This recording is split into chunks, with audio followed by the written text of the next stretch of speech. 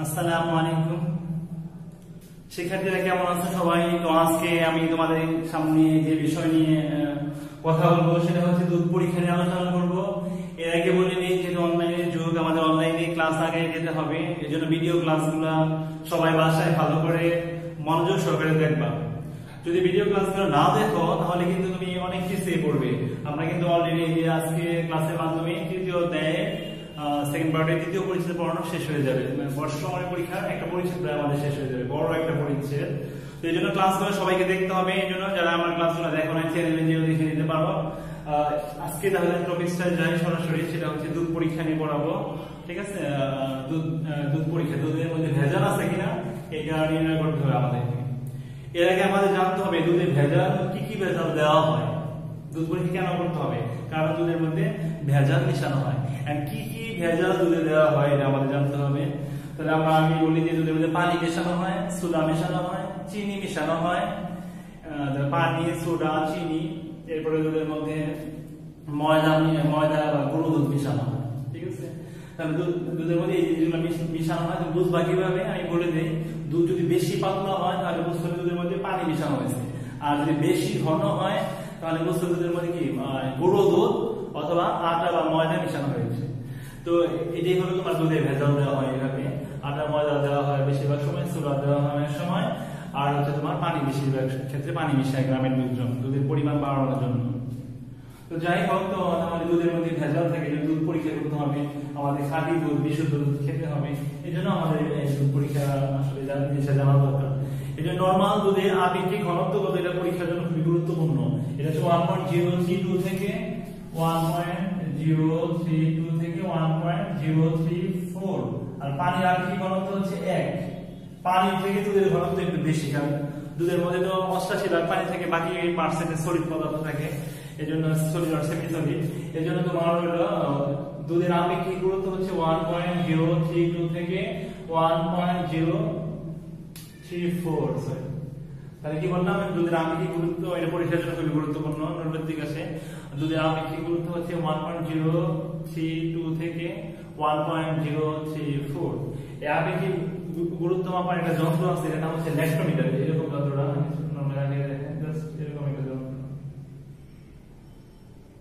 কোয়েভেন lactometer বলে কোয়েভেন কোয়েভেন lactometer বলে lactometer বলতে পারো পরীক্ষা আসে দুধের আপেক্ষিক ঘনত্ব মাপার যন্ত্রের নাম কি? ল্যাক্টোমিটার কি হবে?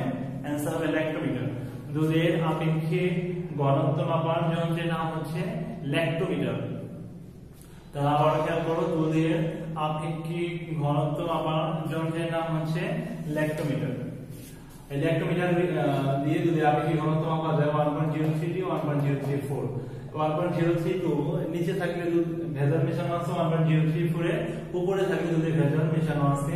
এই ক্ষেত্রে বিস্তারিত আমরা এটা প্র্যাকটিক্যালের জন্য রাখলাম, আমাদের মূল আমরা চলে আসি। দুধ পরীক্ষার ক্ষেত্রে আমরা অনেকগুলো পরীক্ষা আছে তোমাদের বই সাত আটটা পরীক্ষা। এই চারটা পরীক্ষা আমরা পড়াবো। সুলা পরীক্ষা ফরমালিন আছে কিনা, চিনি আছে কিনা, স্টার্চ আছে কিনা। স্টার্চ মানে আটা ময়দা আছে কিনা। চারটা পরীক্ষা পড়তে হবে। সুলা সুলা আছে কিনা, তোমার কীভাবে বুঝবা? কীভাবে পরীক্ষা করতে হবে? এটা আমি সংক্ষেপে দেখো বোর্ডে লিখছি ইথাইলের কোন ঝাঁকানো গোলাপি বর্ণ। এখানে সোলা পরীক্ষা করবার নির্দিষ্ট পরিমাণ, অল্প পরিমাণ দুই মিনিট, তিন মিনিট দুধ নিয়ে এখানে নির্দিষ্ট পরিমাণ গেছি আর ইথাইলের প্রভাব দিয়ে যে ঝাঁকাও, একটা বিকারের মধ্যে, বিকার মানে বিকার, একটা বিকারের মধ্যে যদি তুমি দুধ নিয়ে অল্প পরিমাণ দুধ, দুই মিলি তিন দুধ নিয়ে এই রোজারি গেছে একটু পরিমাণ ইথাইল দিয়ে ঝাঁকাইলে যদি গোলাপি বর্ণ ধারণ করে, গোলাপি হয়ে যায় কালার সাথে সাথে দুধের কালার যদি গোলাপি হয়ে যায়, তাহলে বুঝবা তুমি দুধের মধ্যে সোডা আছে। তাহলে সোডা কীভাবে বুঝবা? যে সামান্য পরিমাণ দুধ নিয়ে বা যে পরিমাণ একটা বই নির্দিষ্ট মাত্রা দেওয়া আছে, এটা মুখস্থ করে সময় এটা দুই মিলি বা তিন মিলি দুধ নিয়ে এরকম দুই মিলি ধরো দুধ নিলে, এরপর রোজা লেগেছে ইথাইল অ্যালকোহল দিয়ে মিশানো, দুধের মধ্যে মিশাই দেওয়া হবে। নানান দিয়ে বিকারের মধ্যে ভালো করে মিশানোর পরে তুমি যদি ঝাঁকাও ভালো করে, তাহলে দেখা যাবে গোলাপি বর্ণ ধারণ করে, তাহলে বুঝবা যে এখানে সোডা আছে। আর যদি গোলাপি বর্ণ ধারণ না করে, তাহলে বুঝবা যে এখানে সোডা নেই। শেষ। তাহলে এই পরীক্ষা আমাদের শেষ। সোডা পরীক্ষা আমরা করে ফেললাম। এরপরে ফরমালিন পরীক্ষা। এই ক্ষেত্রে দুধের মধ্যে ফেরিক ক্লোরাইড আর হাইড্রোজেন ক্লোরাইড মিশাইতে হবে।